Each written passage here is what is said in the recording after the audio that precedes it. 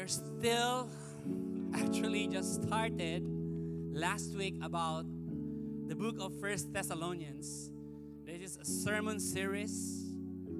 You know what? It's so good to to to preach on the whole letter or book of the Bible because of that we won't miss a thing. Sometimes if I'm going to just pick on my favorite verse or topic, I'll pick on those things that would be helpful for me and also could just tickle your ears. But when you preach the Bible in a series, whatever that verse or that passage or that book or that letter tells us, we have to tackle that and we have to learn. Even if it is hard, even if, even if it's so painful to, to ears, to our ears, we would hear that. Do, verse by verse, from First Thessalonians chapter 1 to chapter 5. All right? Uh, welcome to this couple. Are you first time here? Uh, welcome. Good to see you here. Any first timer in the room right now? I would like to welcome you.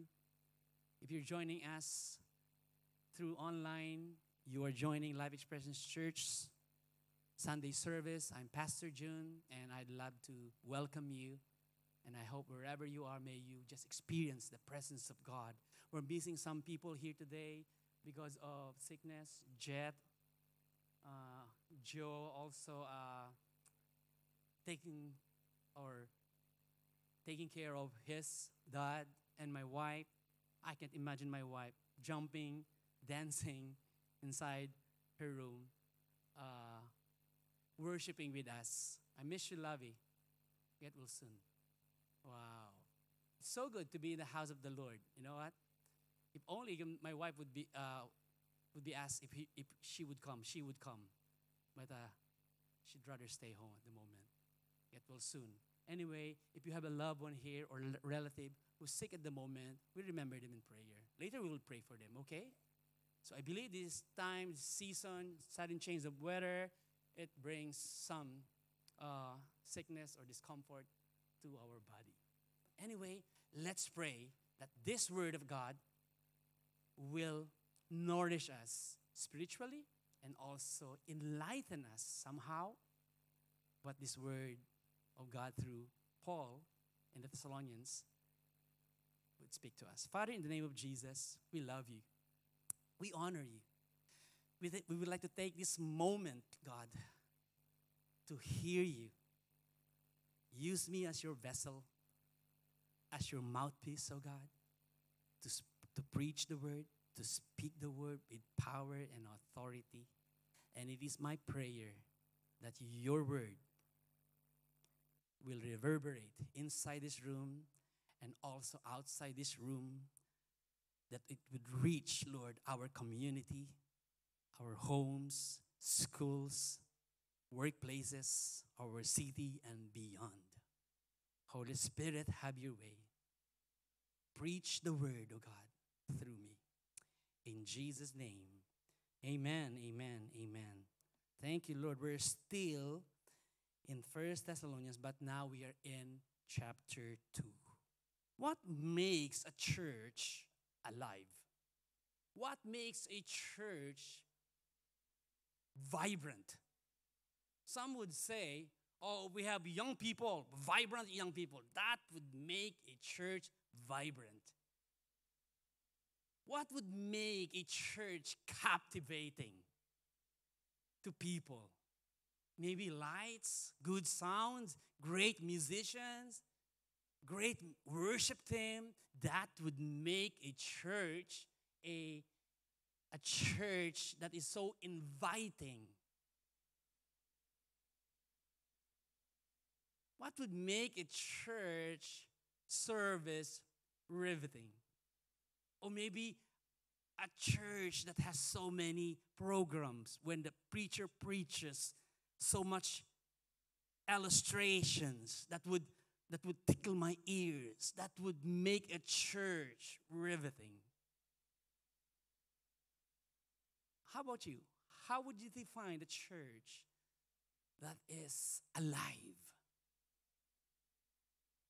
church that has a building with mezzanine, with coffee shop, where they, where they offer cappuccino, latte, where they, they would offer mochaccino or caramel macchiato or what have you. That's a cool church. That's a successful church.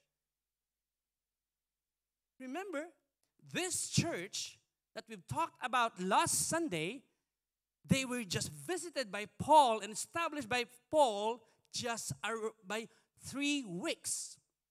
Because, you know, just to give you another background of First Thessalonians, Paul was visiting with his, of course, companions, Silas and Timothy. They were a team that visited so many cities.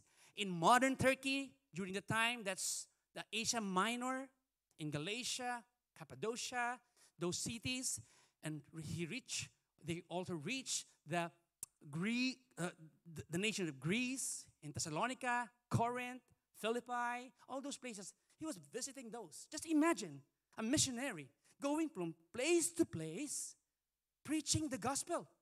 And here, when he reached Thessalonica, which is the modern Thessaloniki in Greece, he just preached three weeks because he was persecuted. There was a riot, there was a mob trying to hurt them because they're preaching a gospel of Jesus. They ran to another city, which is in Philippi. We're going to learn that later. Okay? So, just three weeks. But they thrived. Paul received a news from Thessalonians, from Thessalonica, that they were a thriving church, despite of the fact that they were just established by merely three weeks. But they grew, they thrived. That's why Paul wrote the letter, First Thessalonians, to them to encourage them, to thank them, and also to address some issue in order for them to grow. That's why you have First Thessalonians in your Bible. Read your Bible. You will learn that. The back backstory of this is in Acts 6, 17. You will learn that, that Paul visited the Thessalonica in Acts 17. All right. Now, again, the question that I asked a while ago what makes a church alive? Music, drums, keyboard, great hosting, great coffee, great lights, good seats? Perhaps I would like to answer that question based on this book that what makes a church alive, meaningful, purposeful, what makes a church riveting, compelling, captivating is because the power of the gospel. It is the gospel. It's not about the size of your membership. It's not about the size of the building. It's not about the color of the carpet. It's not about the media. It's not about if we are in TikTok. It's not about if we are in Instagram.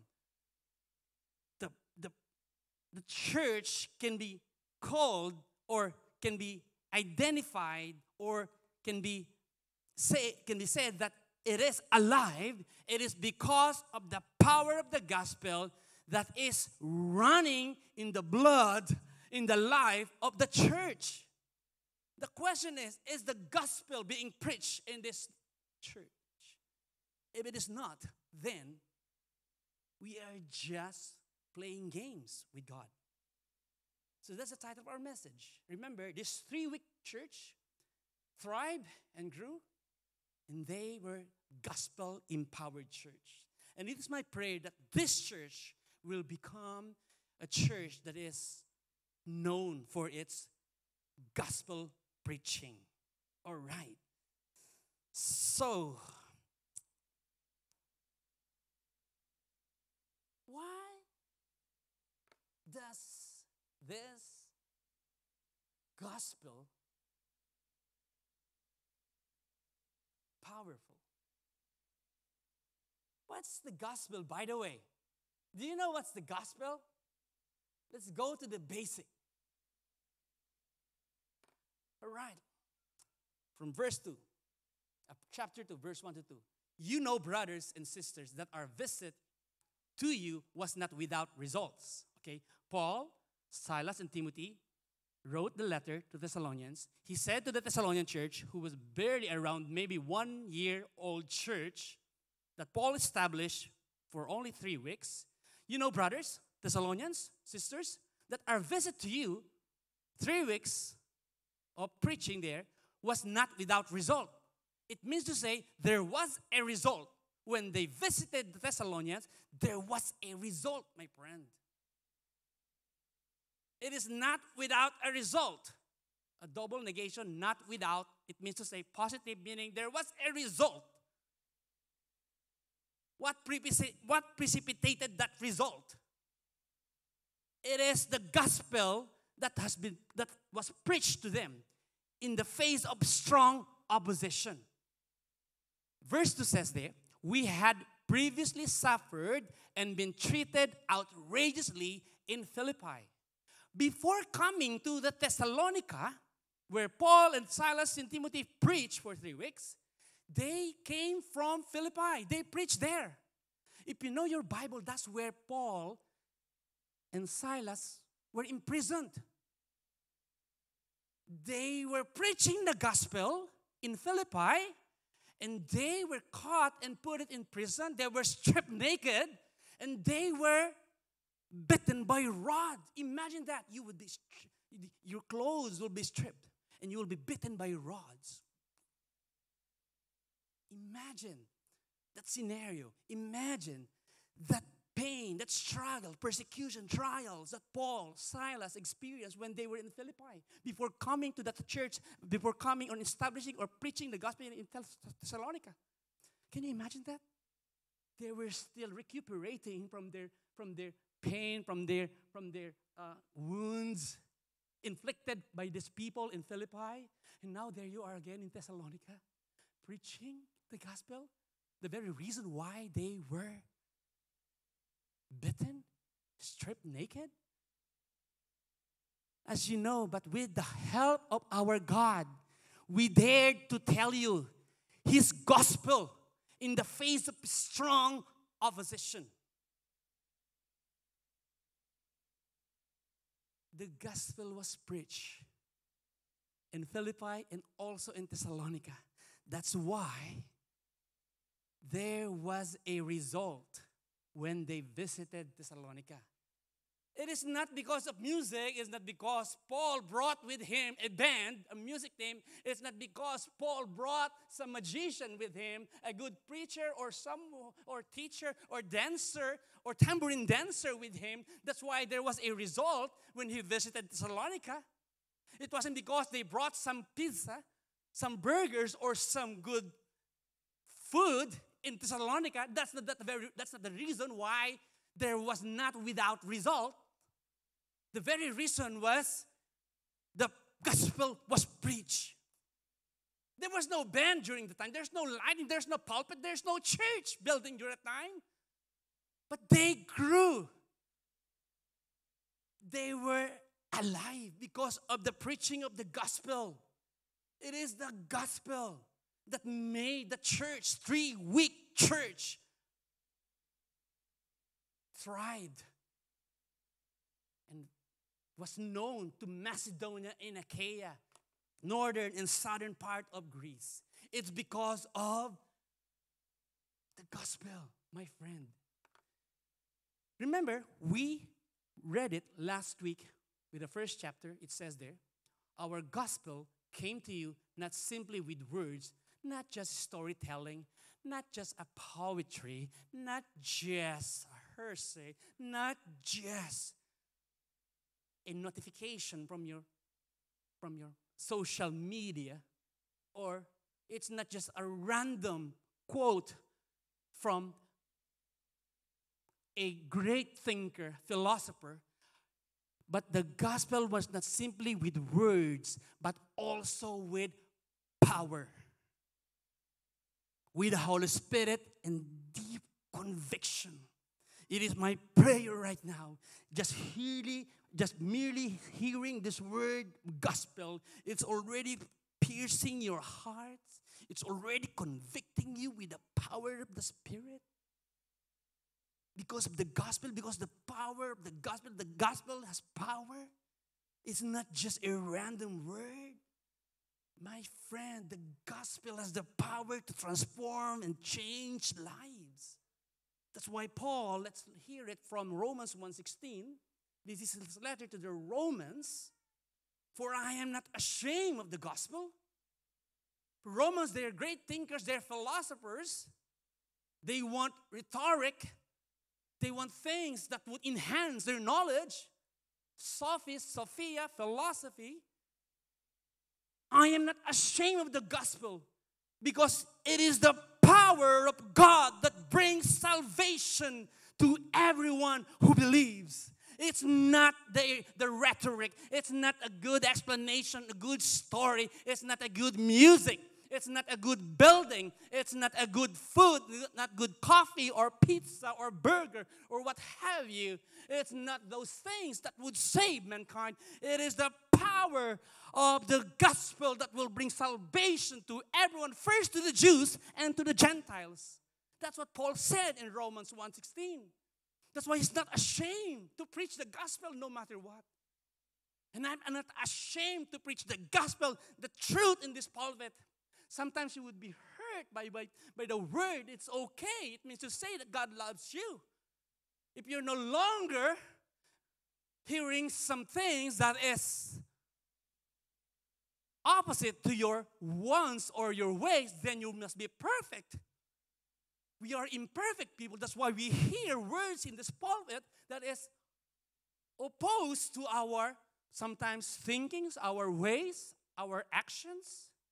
That's why the last letter of Paul before his execution is in Second Timothy, his very last letter to Timothy. This is what he said. He didn't say, Paul, look at my properties. I'm giving you this land. I'm giving you this pro- this this this this estate. No, it's not. Oh, Paul, take, take good care of my friends or my or my belongings. No, it's not. This is what he said in his last letter. So do not be ashamed, Timothy, of the testimony about our Lord or of me, his prisoner. He was in prison. He was about to be executed. This was his last word. This was his last word and says, "Join me, join with me in the suffering for the gospel." The gospel with his last breath he asked Timothy to preach the gospel by the power of God. Because that's the power of God. The only thing that could save mankind is the gospel. The gospel. And that's what Thessalonians received. That's why they were empowered by their faith because of the gospel. So, what's the gospel? You haven't answered the question, Pastor Jun. What is this gospel?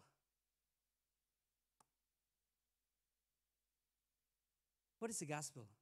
Gospel simply means good news. From the Greek word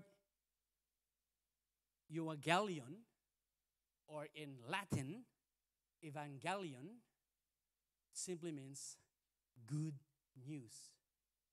Again, Pastor, what's the good news? Why many people died for that good news? Even Paul was executed, Peter was executed, and many church fathers during the early centuries, they were, they were crucified, cut into two.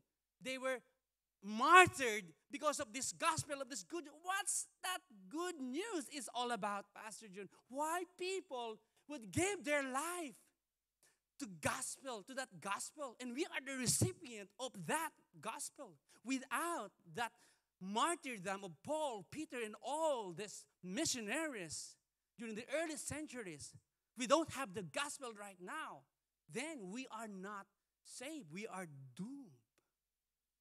What is gospel? What is this good? Before you know the good news, you have to know what's bad news. There was a bad news. Okay, I'd like to take you back in the Old Testament in Genesis from the very beginning that you are created by God. according to his image and likeness. Adam and Eve started it all. He, they started. They had fellowship with God. You can do everything in that garden, but don't eat the fruit in the middle, or else you would die spiritually, meaning to say you would be separated from me.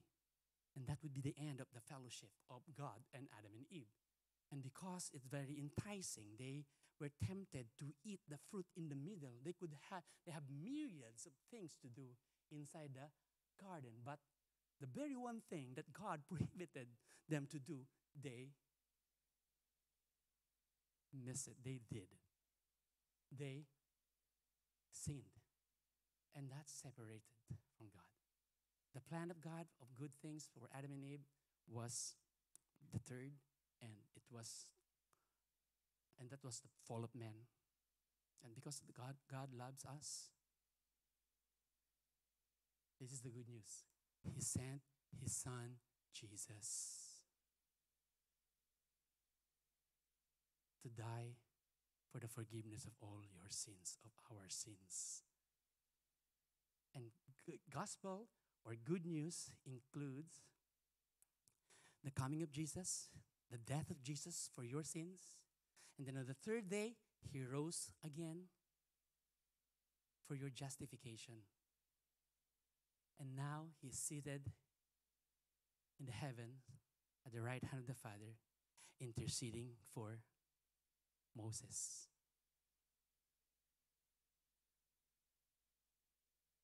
For Lailin, for Jose, for Marizel. Jesus is already seated at the right hand of the Father, praying for you. For you, my friend. That's the gospel.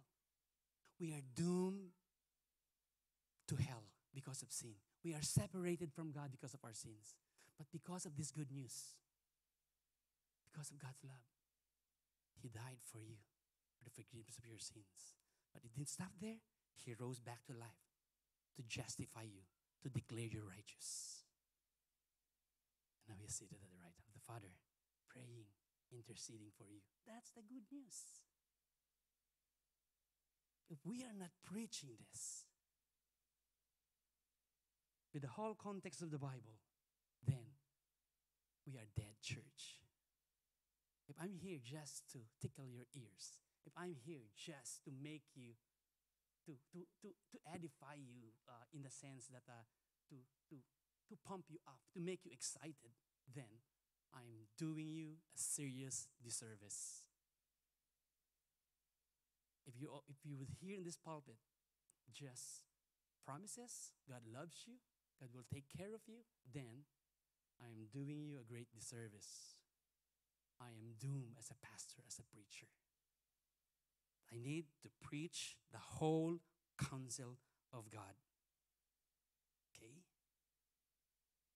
We have a preconceived benchmark that the success of the church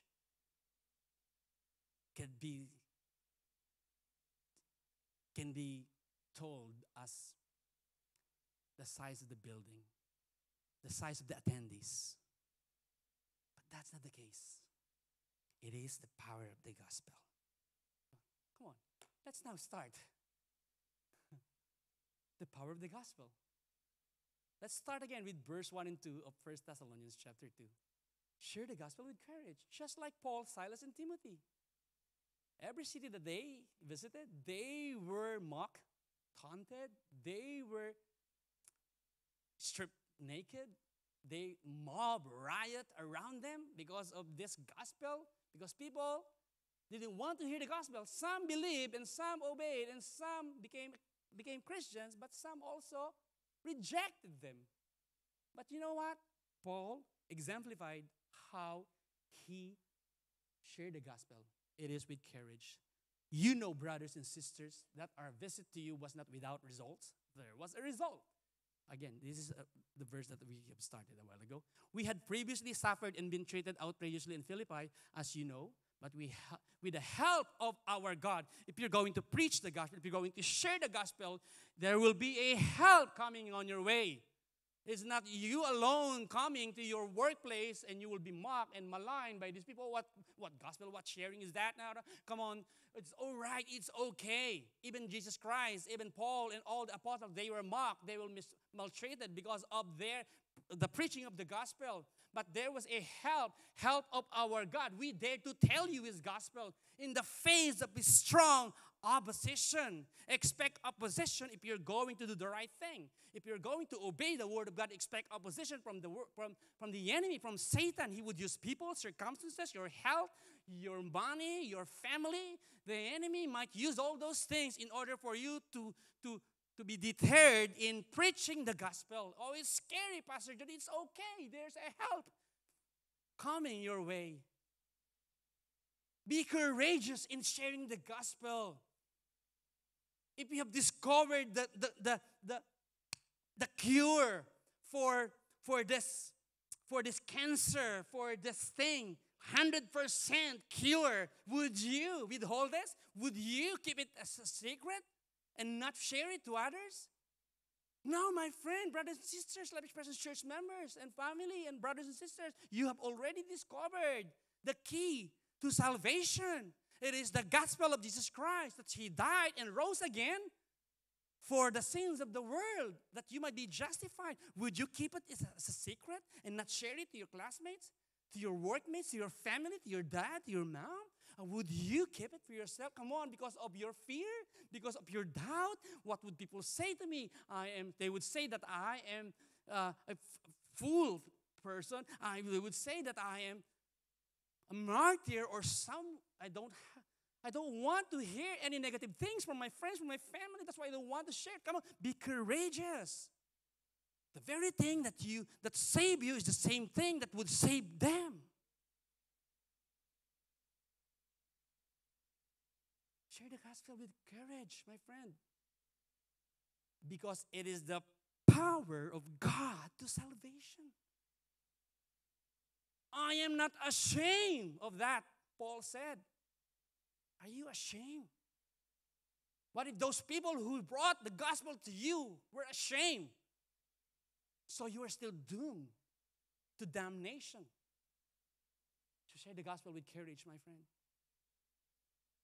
there would be a result if you're going to preach and share the gospel. Later on, I will tell you, I will teach you how to share the gospel in a very, very simple way. Secondly, because of the power of the gospel, we have to share the gospel with pure motives. It says here, for the appeal we make does not spring from error or impure motives. It's very explicit. Paul said, Come on, what I'm telling is not from, error, from, from, from error. I'm sure of it that it is right because it transformed and changed my life because it's not an error. And I and I experienced Jesus Himself. And I experienced the transformation. And now I am preaching the gospel with pure motives. Again, not impure. Again, another double negation. Sometimes it gives us more, more, more, more uh, clarity because try, Paul was trying to say not impure, not from error. So it means to say it is pure motive. When you share the gospel, make sure it is not from impure motives. Because during that time, the Paul's false teachers were trying to discredit Paul. Because imagine after preaching three weeks, they left Thessalonians. Oh, that's why those false teachers, those who were against them, you see, Paul, Silas, and Timothy, those who preached to you, they just stayed here for three weeks. So now we're there.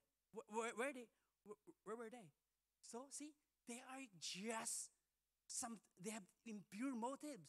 They didn't get what they wanted want from you. That's why they left right away. So they're trying to manipulate the mind of this Thessalonian church. Because during that time, there were many false teachers, preachers, itinerant preachers going around. They're not preaching the gospel, they're preaching their philosophies. That's why they're tricking the church. This new church, they were being tricked by these false teachers. But Paul said he's trying to prove the veracity of his apostleship, his preaching, and his being, being a preacher to them and a father to them. We are not tricking you. We have pure motives. We're not trying to trick you. When you share the gospel, don't try to trick your people. Your, your, even your, your parents, even your mom. Don't trick them. Preach with pure motives, and you would see the power of God working in their lives. If you're going to share the gospel for your own, for your own personal uh, motive, then who would be applauded? Who would be? It's not you who would be changing these people. It is God. Therefore, use the gospel with pure motives. On the contrary, we speak as those approved by God to be entrusted with the gospel. He is so convinced that he was approved by God because he is convinced that what he's preaching, Paul was preaching the gospel. That's why he is, was convinced that he, he was entrusted with the gospel, approved by God. We are not trying to please people. Don't please someone else. Don't, oh, Pastor Jun, I need to please Pastor Jun because he said that uh, I should preach the gospel or share the gospel to my workmates, to my dad. That's why I need to please him. No, don't please me. If you're going to please me, then he won't last. Just, just, uh, just just one rejection, you would, uh, you would right away, oh no, I give up. But if you're going to please God, because I want to please you, Lord, I want to please you, Lord, the maker of heaven and earth, the one who saved me, I'm going to share this gospel to my, to my seatmate, to my classmate, to this person, this stranger, to the restaurant, coffee shop. I don't know. I'm, I want, Lord, to share the gospel with pure motives because I want to please you, God. You know, we're, we're, we never use flattery nor did we put a mask to cover up greed. God is our witness. Don't, so do not use flattery words just to convince the people because the word of God himself, the gospel itself, has the power to transform and change. It's not your flowery words, it's not your flattery words that could convince or transform the lives of your children or your family or your what have you. It is the power of the gospel. So don't use flattery words. Don't use, don't use flowery words. Just straight to the point. Share the gospel as it is and let the Holy Spirit work in that person. Don't put on mask. During, during that time, there are there are people who are who are putting masks when they when they when they when they when they preach because of greed. They want money. They want money. You know, the, the one reason that why Paul was being mocked by these false teachers, by these they call it charlatans. Charlatans, they are paid preachers, paid orators, paid speakers. Because Paul was, wasn't uh, charging them with, with pay. That's why people, these false teachers, say, you see Paul charging you for free? So it means to say he, he wasn't just he wasn't a good speaker or teacher. Because the more you you you charge people with a high pay, pay during the time, it means to say you are more you're a great preacher or teacher or, or, or orator. But if you're going to charge them free, it means to say you are a low level or you're nothing. You are, you are not a good teacher. That's why these charlatans, these speakers, itinerant speakers, they're charging people more money.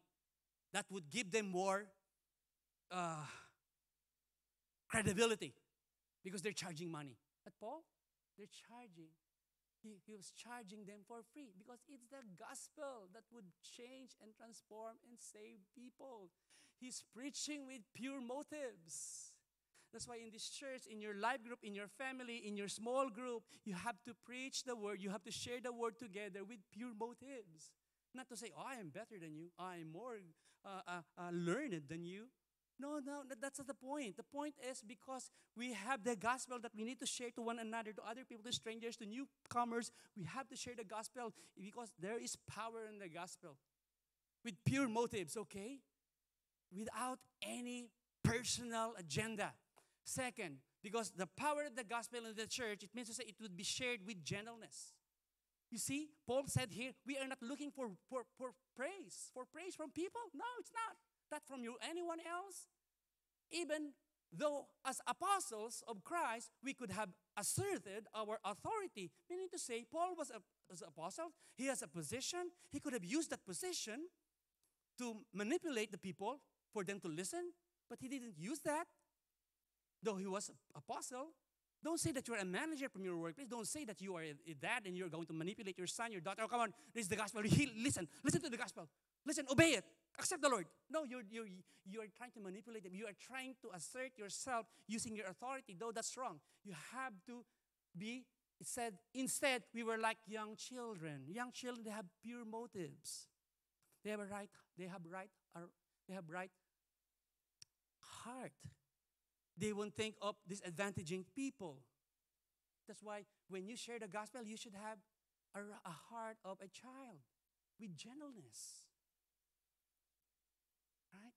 Don't force something to this person because you don't use your voice. You this is the word of the Lord. You have to obey it, or else you will be doomed. You will be. You will. You will go to hell. No, you don't have to do that. Let the Holy Spirit convict them. No matter how how push your voice, you, you, you raise your voice to your children and receive the word or make them change. You can't change your children. Remember that.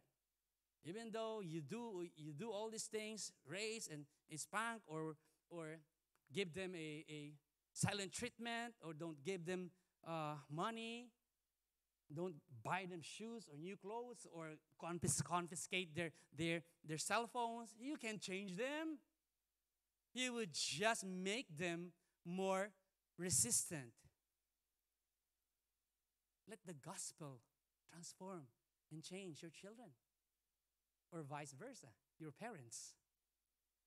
Pray for them. And you know what? The gospel should embody the character of God. Because God is gentle, then show gentleness to your children or to your parents and let's see, let them see God through your actions because you're preaching the gospel to them. Therefore, let them see the character of God on that gospel and that teaching. So be in this church, let's like let us be like these children. Because pure motives, gentleness. Let's be gentle to one another because we are brothers and sisters here. Paul repeatedly mentioned the word brothers and sisters. Therefore, we have to be gentle to one another in sharing the gospel, even to the newcomers, people, random people, strangers at your workplace or what have you. Be gentle in preaching the gospel. Thirdly, the power of the gospel should be shared with compassion. And the second part of, of verse 7 says, Just as a nursing mother cares for her children. Wow, moms. The compassionate moms, mother. When they see their children sick, if they could literally get that pain, that struggle, that sickness, and suffer it for themselves, they would do that. Because moms, they're so compassionate. They want to get everything from their children just for them to alleviate the pain, the struggles that they have been experiencing. Just like us, because we want this, this people, this friend, this even your classmates or workmates, if you because you have so, you so you have this compassion to them, like a mom, because you know that they will be doomed to hell if they will not hear the gospel. Then you should have this compassion so we cared for you. You cared for this person. You cared for this friend. That's why you preach the gospel to them. You share the gospel to them. Because we love you so much. Moms, they love their children so much. The same way you should have that kind of compassion and love for the lost. Even those your those enemies, those enemies of yours. Even those in your workplace or classmates that are so mean to you. You should have this love for them. Again, love is not emotion. It doesn't mean that you have to give them coffee, give them flowers. No, it's not that way. It means to say it's your own volition, it's your own decision to do a good work to them because that's the love of God. When you say you love God, you do good things. You obey what God tells you to say, to do. Sorry, to say yes. So it means to say, come on, you should have this compassion when you share the gospel. And that's what Paul, Silas, and Timothy had when they preached the gospel in Thessalonica.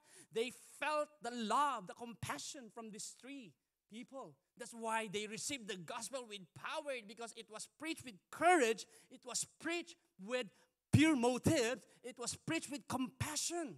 It was it also says here, surely you remember, oh no, sorry. We were delighted to share with you not only the gospel, not only the gospel, not only the gospel of God, but our lives as well. You have to share your life, your life to one another here as we continue to live out the gospel of God in this church. And as we live it out to other people around us, let us also offer our lives to them. That's compassion. Surely you remember, brothers and sisters, our toil and hardship. We work night and day in order not to be a burden to anyone else, anyone, while we preach the gospel of you, of God to you. See, Paul wasn't getting the, charging them free. They're not asking them money to pay them. They were working night and day as tent makers so that they will not be a burden to the, to the church and, that they established in Thessalonica. Because he wanted to be a blessing to them. But it's also, it's, it, there's nothing wrong uh, paying the preachers or pastors because in Philippi, Paul was paid by the church because the church wanted pa- Paul to preach, to, to focus on preaching and leading the church. That's why he was paid and he, did, he didn't need to work as a tent maker. See, because of this mom working so hard, wanted to express his love to people, sharing the gospel. Moms didn't want to be a burden to people, to their children, just like us. We don't want people to burden with the gospel. We, need, we want them to receive the gospel with power that they may be changed. Wow, there's so many points here. The last point that I have today is share the gospel, but there's a bonus later on. Share the gospel with live example. So let's review. First, we have to preach the gospel with courage because you would experience and encounter opposition. Therefore, you have to be courageous when you are determined to preach the gospel. Also, with pure motives. Because you could preach it with a wrong motive, then that's not a very powerful way of sharing the gospel. Make sure, Lord, I want to have a pure motive in preaching the gospel that this person could receive you as personal Lord and Savior. And next is we have to share it with gentleness. Be gentle in preaching and sharing the word of God. It's so important. And also with compassion. And lastly, we have to share the gospel with live example. You are a witness. Paul was saying to this Thessalonians, you witnessed it, right? You witnessed, you saw that, you saw us, right? You saw what we did when we visited you. As if he was trying to, to, to pin them down. Now, you see, you see, you saw that, you saw, you're a witness. Meaning to say, what they witnessed is what they, what Paul, Silas, and Timothy showed them. Because Paul, Silas, and Timothy became witnesses as well. They witnessed the character of God, and the Thessalonian church witnessed it, saw it. And so is God of how holy, righteous, and blameless we were among you. You've seen how holy, how blameless, how we were among you. For you know that we dealt with each as a father. And now he used this familiar word, language, with his father. He first used children like children, like mom, and now father. When we share the gospel to one another, to other people, we should be like fathers the most uh, person inside the house is the father. The daughter, the son, they would watch the father. They're their heroes. My mom, she is the light of our family. My dad, he is my hero. Dads, what would you show to your children? Show them how to pray. Show them how to read the Bible. Show them how to treat ladies. Show them how to treat their boys, show them how to treat finances, show them how to treat the church, show them how to respect the elderly people, show them how to obey parents, dads. This is just an example. Meaning to say, dads are example to say, as a father, we showed you how to be a fa- as a father by encouraging, comforting, urging you to live lives worthy of God. When we share the gospel, it should be accompanied by life examples. Urging you to live lives worthy of God who calls you into his kingdom and glory. In this church, we want to preach the gospel, but we also would like to live it out, to act it out, to put it into practice. We are not just talkers, but we are doers. We are not just listeners, but we are, we are doers of what we hear. We live it by example. Sometimes it's painful. Sometimes what we hear from the word is so painful. Oh, I don't want to share it because it's painful. No, if it is what the word tells us, we have to share it. Because God hates sin, but loves the sinner. They say church that they say that God, uh, church hates homosexuals. They say the church hates drunkards. They say the church hates uh, uh, sexual immoralities. No, well, we don't hate them. What Jesus hates is the action, the practice. You don't hate the drunkards. We hate what, what the, the result of drunkenness to the family, to your finances, to your business, to your relationship. That's what, that's what God hates. And he, he, he preaches against that. God doesn't hate sexual immorals. He hates the sexual immoralities, the action, the, the, the, the, the practice. We cannot circumvent it. But the Bible tells us we have to obey it. Any sexual immoralities, God hates that. We You know that. In Galatians, you cannot enter the kingdom of sexual immorality. Anything outside marriage is a sexual immorality. That's according to the Bible. Gamblers, God doesn't hate gamblers. He hates what's the result of that gambling that would that would bring that would that would bring to the family, to this person. You know, you know what I mean? We love people here. And we want people to hear the gospel. And the gospel is the truth, the whole counsel of God. I hope you're getting this. If you only hear me preaching hype words, again, I must say, I am doing you a great disservice. I might as well be a motivational speaker. Maybe I could earn more money from that. You know what? When you preach the gospel, when Paul, Silas, Timothy preached the gospel, they were hated. Because many people were hurt when they preached the gospel. I'm sure I have I've hurt so many people in this church since I started preaching. When was that? 2007, I guess. Because the truth hurts. The truth hurts. But if you're hurt by the pulpit, by the word, you should be thankful because God is speaking to you personally.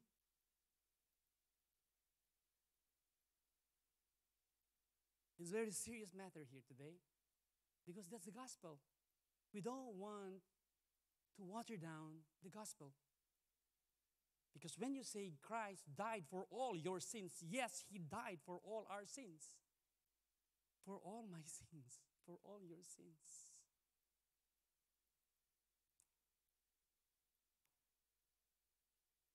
And what I want is, Lord, when I see you face to face, I want you to say, Lord, that uh, I have walked the talk.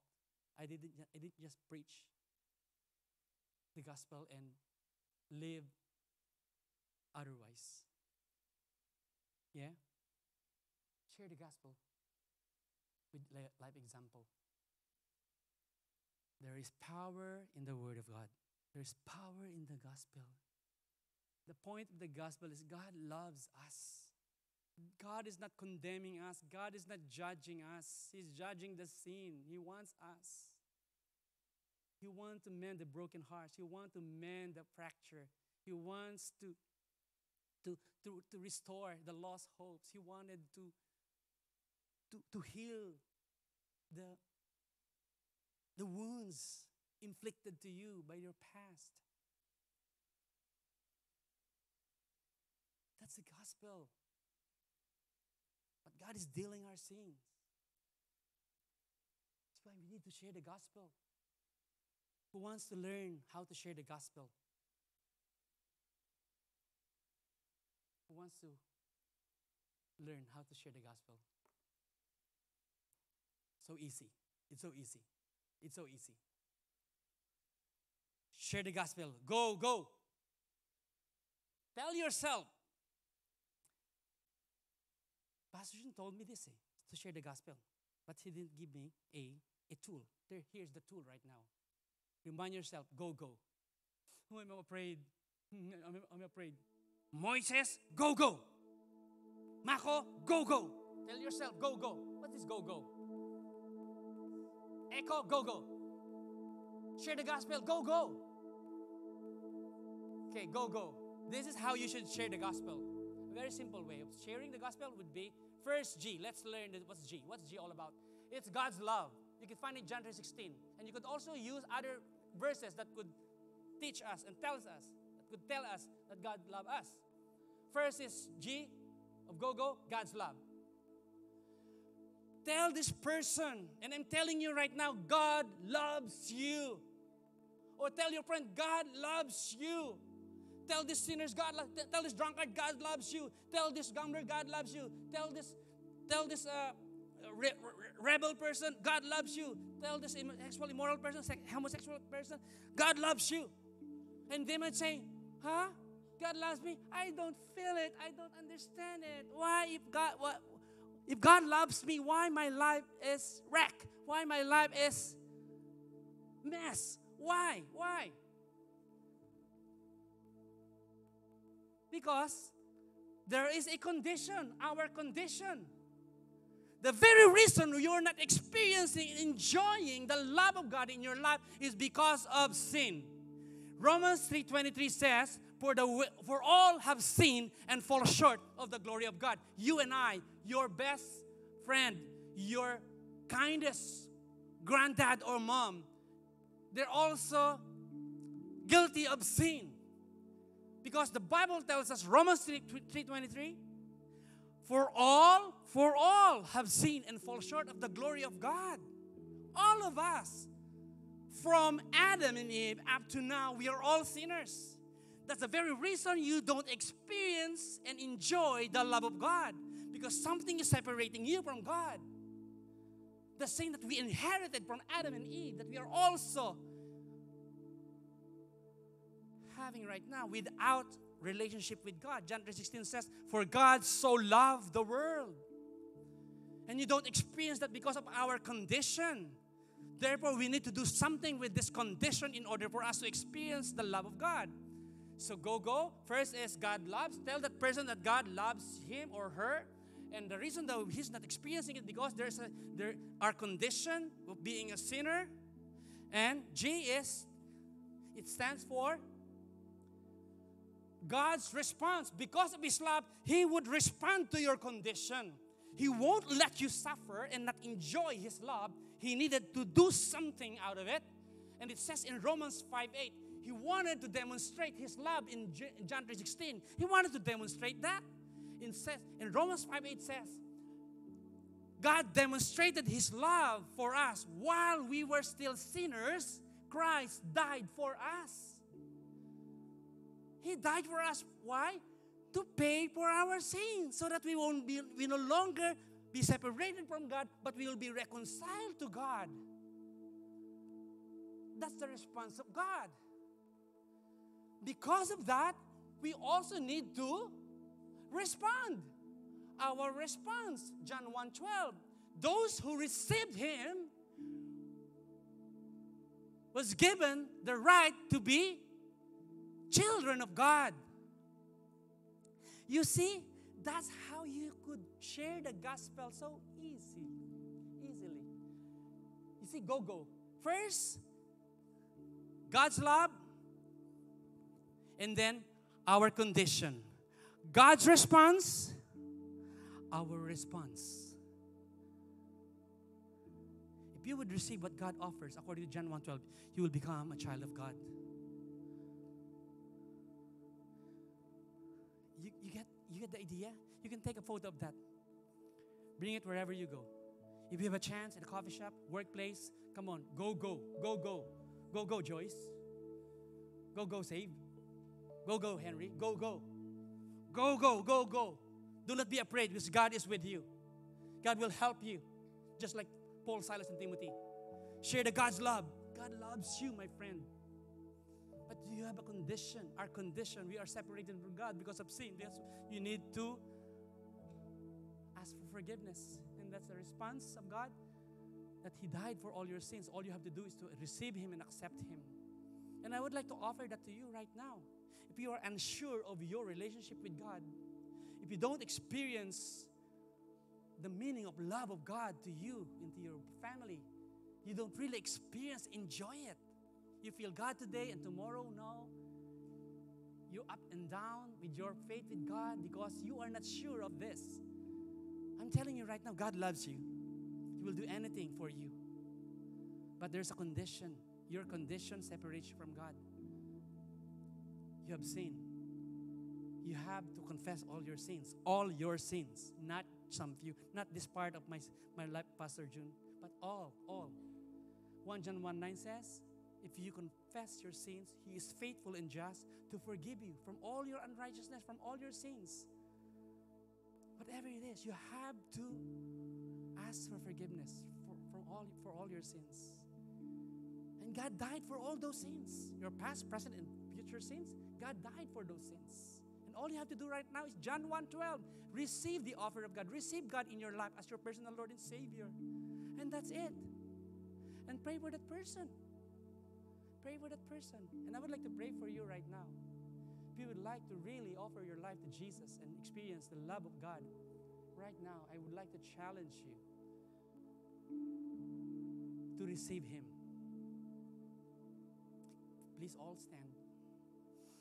We praise you, Lord. We thank you for this opportunity that we could hear the power of God through the gospel.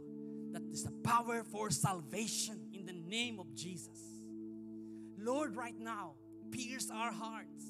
I pray, oh God, that each and every person in this room will not will, won't go home without the gospel in their hearts. That we would all go out, Lord, carrying, Lord, the forgiveness and the salvation that you have offered, and we are going to share it to other people. In the name of Jesus.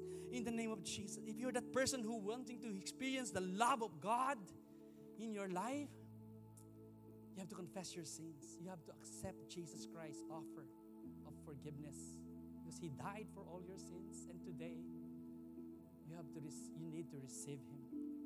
Hallelujah, hallelujah, hallelujah. Repeat this prayer with me. Jesus, I want to experience your love.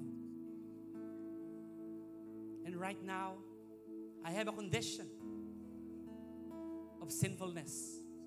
Please forgive me. I want confess all my sins right now. Help me to turn away from all my sins. Give me, Jesus, the power to resist temptations and sins. Please forgive me. And right now, I confess all those sins. Please forgive me.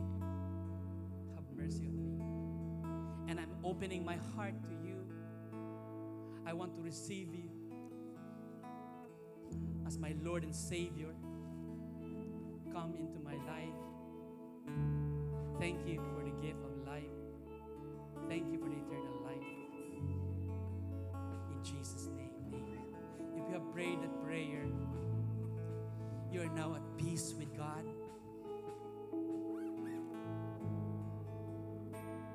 You are now at peace with God. Were once shattered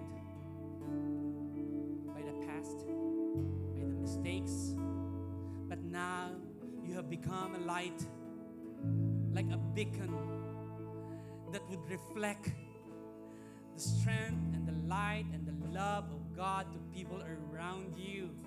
You're no longer a loser, but you are a victorious Christian in Christ right now. The old has gone and the new has come. God loves you, and that let, let, let that love continue to reflect to people around you. May God bless you as you live your new life in Christ.